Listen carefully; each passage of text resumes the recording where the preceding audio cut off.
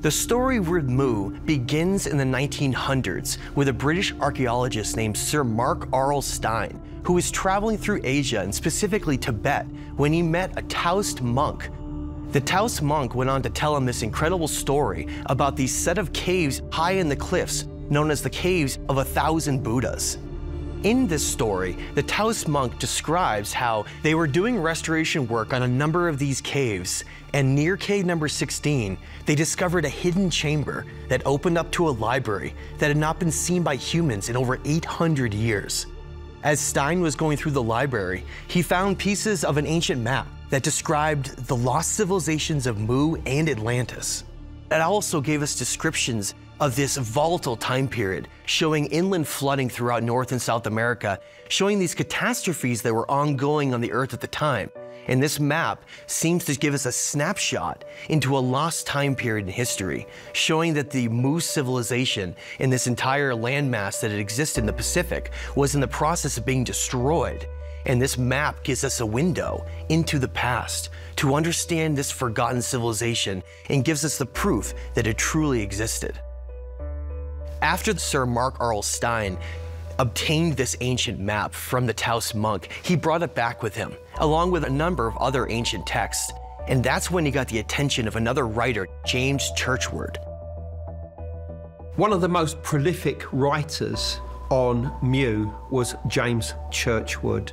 What Churchward said was that the survivors of Mu actually came onto the Asian continent and are the Uyghurs, the people that occupy what is today the extreme west of China, much persecuted people as we know, that they were actually the final remnants of the inhabitants of Mu.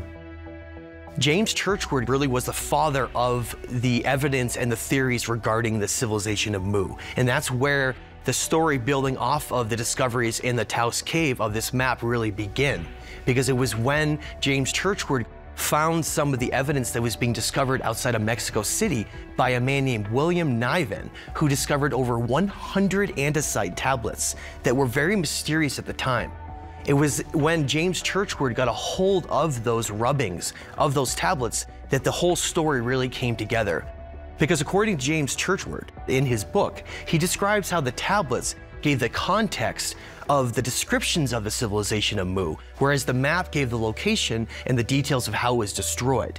Coupled together with the map and this new information, James Churchward formulated this entire set of new theories that we now build off of for the civilization of Mu and where it existed and when it existed. Geologists do acknowledge that there was a landmass called Sundaland an ancient landmass precisely in the location in the Pacific where the ancient traditions say that this motherland existed. This land was exposed during a time in geologic history when the temperatures are much colder, during the ice ages.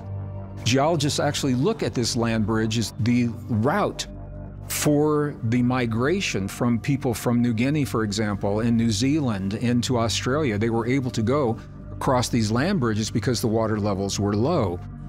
According to Churchward, there was a continent that stretched all the way from what today we call the Hawaiian Islands down into Easter Island, over into the Indonesian islands to the west. If you can imagine in the Pacific Ocean, a massive continent of that size in place of what we see as, as water today.